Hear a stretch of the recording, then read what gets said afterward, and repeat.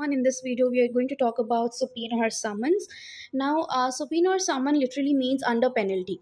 So subpoena or summon is a written document uh, that is issued by the court to compel the testimony by a witness under a penalty.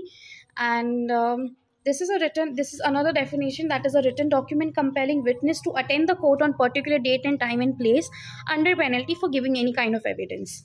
Now this uh, written document is issued by the court and it is also signed by the court and it is served to the witness by the police officer or a public servant.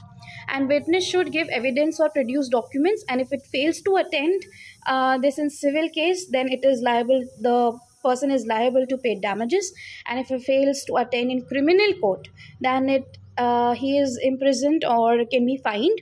Yet there are some excuses uh, and there it can be excused excused from attending the court if he or she has a valid or urgent reason. And now there is a return uh, summon from two courts if a witness is getting summon from two courts at the same time then you have to first visit the criminal court and then the civil court. So the higher court is given more value than the lower court.